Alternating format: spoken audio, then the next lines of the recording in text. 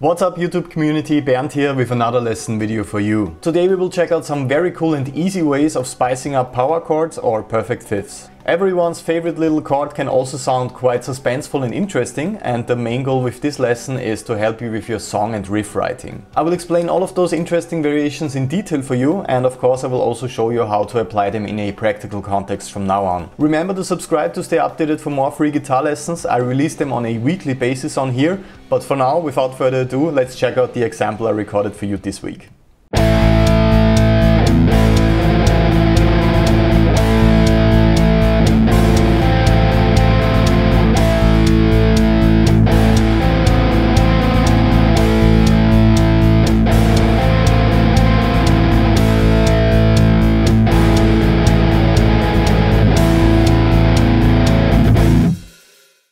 So as you heard, we are switching back and forth between the standard power chord and the variations I want to show you. This is meant to give you a direct comparison of those interesting sounds. The power chord is the backbone of more songs that I could possibly think of and there is absolutely nothing wrong with just sticking to the perfect fifth interval for your compositions, but it will help you a lot creatively to know a couple of tricks to make the sound a little bit more interesting and unique. My personal approach concerning that is never actually learning chords from a chord book or anything like that.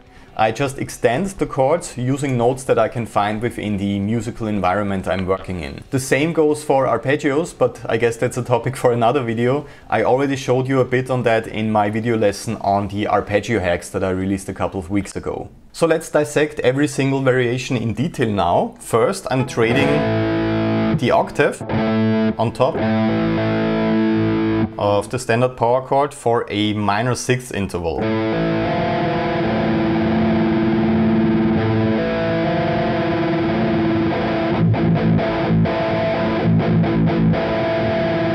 Which sounds pretty interesting in my opinion.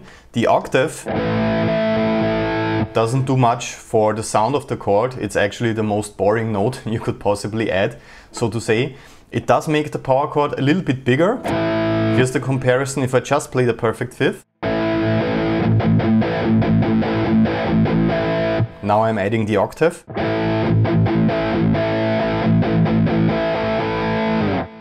So it makes the sound a little bit bigger, so to say, but it doesn't add any specific color to it. By adding this minor sixth instead, the chord gets a pretty dark color because the interval is rubbing against the perfect fifth.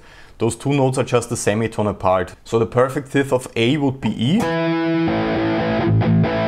and the minor sixth would be F. And instead of just playing the minor sixth interval like that,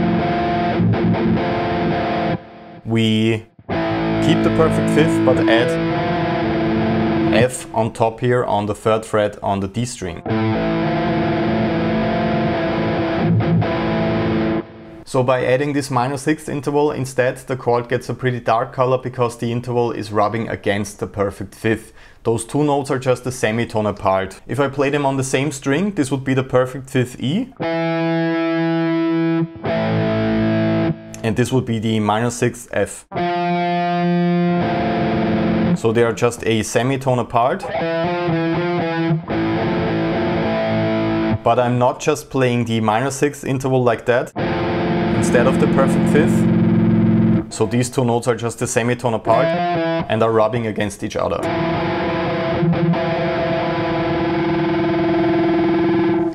This tension works exceptionally great whenever you're looking for a suspenseful sound and my process here is just thinking in A minor, in the A natural minor scale and I'm visualizing all of these notes of the scale on the fretboard and then I pick the interval I want to add and look for possibilities to form the chord. So as we said, F can also be found here. But if I play the minor sixth here, I can't play the perfect fifth too, so I have to pick F here on the third fret on the D string instead of the 8th fret on the A string. So the main thing I want you to memorize here is that we could also just only play the minor sixth interval but it would not sound that interesting because we are missing the tension of the minor sixth rubbing against the perfect fifth.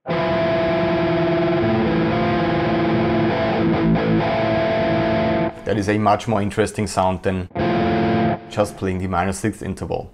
Up next we're working with a similar voicing. Let's hear how that one sounds like.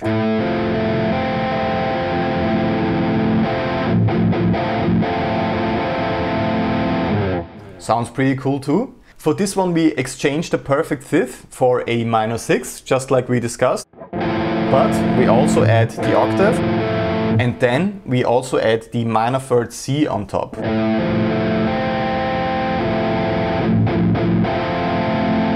So this one is quite sophisticated compared to the last one. If we see it as a simple power chord replacement, it sounds quite dark and suspenseful and clearly has that natural minor color because those two notes we add are very characteristic for this kind of sound. So from now on you can memorize those two connected voicings. First we change the octave for a minor sixth for a more basic but still suspenseful sound and approach. And then we changed the perfect fifth to a minor sixth and then added the octave and also the minor third on top, which is very important. I have to bar the fifth fret here, so I can play both A and C on the fifth fret of the E and the G string. So make sure you can hear C you play this voicing because it's very important for the color of the chord.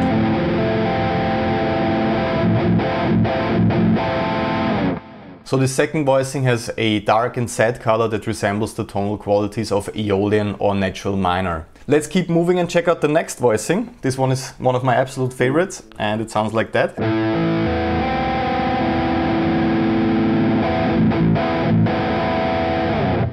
So here we change the octave again, this time to a major second or ninth. I really love minor chord voicings, including the ninth, because of the open and floating sound you get out of them. But of course we also have to add the minor third again here to make this a minor voicing on the fifth fret on the G string. So we have to bar the fifth fret again to play both A and C. And I really love this kind of open and floating sound you get out of chords like that. It's much more interesting than the plain power chord sound, so to say. You can also ignore the minor third here on top, of course, if the voicing is a little bit too hard at the moment and just play or depends on the fingering you prefer. This is also a nice sound, but it lacks the tonal quality of minor or major. So this kind of chord can be used in a minor or major context, but we make the context and the sound much more clear by adding that minor third on top.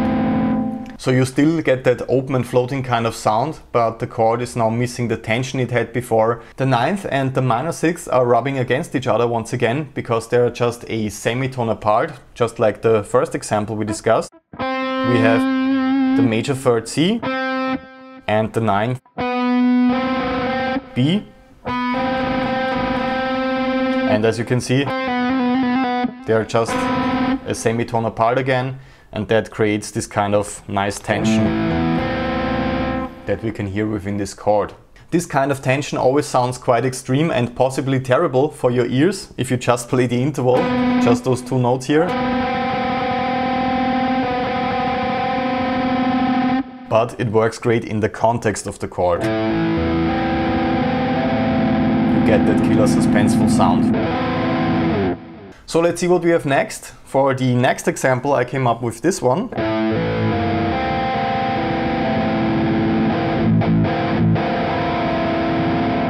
So if the other chords weren't uh, suspenseful enough for you or dissonant enough for you, this is the one I guess. For this voicing we take the one from before, but we lower the ninth or major second we introduced by a semitone and get a very dissonant and Phrygian vibe. As we discussed whenever we talk about the modes, Phrygian features that lowered second scale degree above the root. In the case of A Phrygian, that would be instead of so instead of So whenever we think of Phrygian, we have this kind of sound in mind.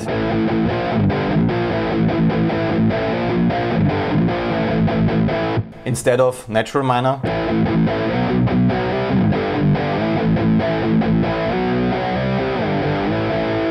We have this one right here. And this kind of tension can also be heard in this chord. When we add that interval to a chord, we get a lot of tension because it sounds like a wrong note, so to say. The minor second intervals are always dissonant, as we already hear with some of the other chords we discussed, but this time this minor second interval revolves around the root and that makes the sound even more extreme. So in order to work with this one for a Phrygian composition, you would probably have to resolve it to the octave to work with a tension and release kind of approach. Something like that, for example.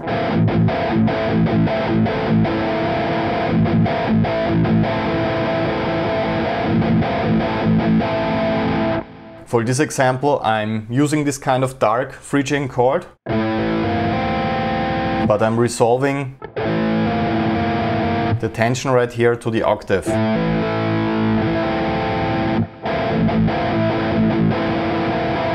That possibly works better than just staying on the Phrygian chord for the entire composition that may be a little bit too, too much or too dissonant. So let's see the final chord for today. This is what I played in the practical example in the demonstration.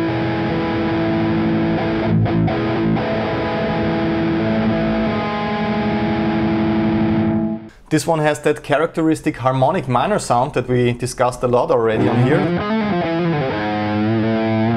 With that uh, raised 7th scale degree. But it can also be seen as a very basic A major 7th chord that is missing the major 3rd for example.